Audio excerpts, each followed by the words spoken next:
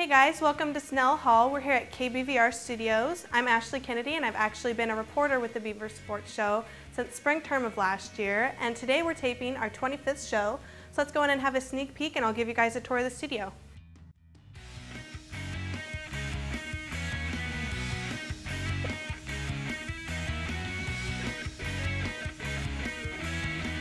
Okay, so welcome to Studio A. This is where all the action happens. This is where we do all the taping for our show. Um, this set is actually new. We just got it um, last year, and we have three cameras, and um, they all have teleprompters on them. And they're from uh, KGW. They um, gave us some of their old cameras. But um, we're actually getting ready to shoot an in-studio interview with Sean Canfield, who's the quarterback for the football team. And so we're going to be filming that a little bit. And um, we're also going to be doing all our in-studio taping. Week on the Beaver Sports Show, we'll take you to spring football practice and show you how the team is doing.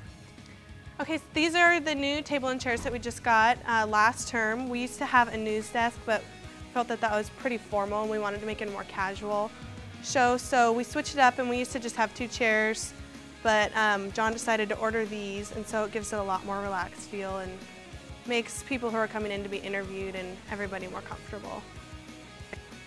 Okay, so now we're just leaving Studio A and we're going to head upstairs to the control room.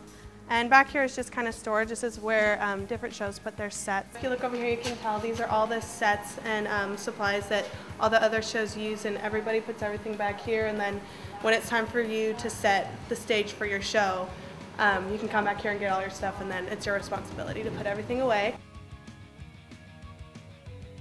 And now we'll head upstairs.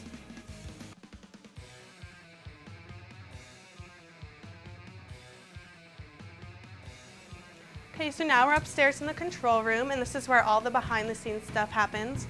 Um, over here we have um, the board that controls the cameras, and we do the sports show, we always have three cameras, and John writes a script, and he always um, chooses which camera goes for each line, and so whoever is running this has a script next to them and is responsible for switching from camera to camera. And over back here, Brittany right now is doing work for her interview, and so She's using um, the teleprompter, and we always use the teleprompter for the interviews and all the in-studio stuff. And um, back over there is controls the light board, and so we always use that um, to set the lights, which is a pretty long process. And this is also the segment timer that helps for interviews and to keep everything on a time schedule and everything under wraps. So.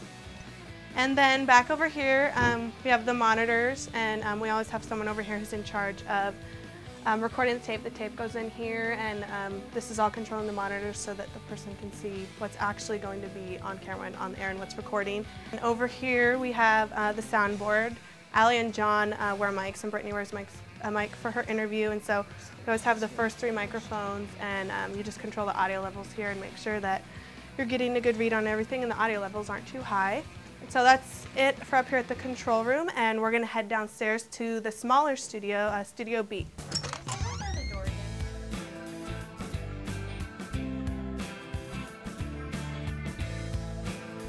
So here we are in the smaller studio, Studio B.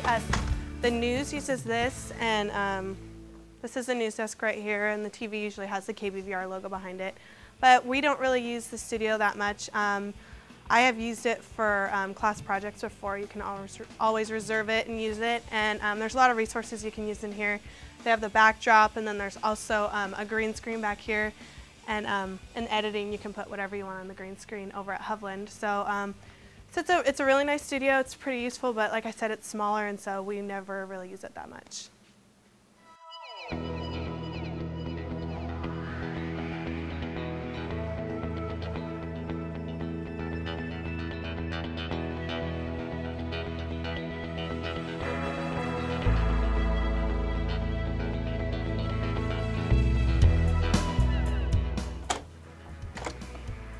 Well guys, you've gotten a tour of the studio and you've seen a special sneak peek of our 25th episode and now I've got to get back to work because I'm running teleprompter today. So thanks for joining me and hopefully I'll see you guys back here next week.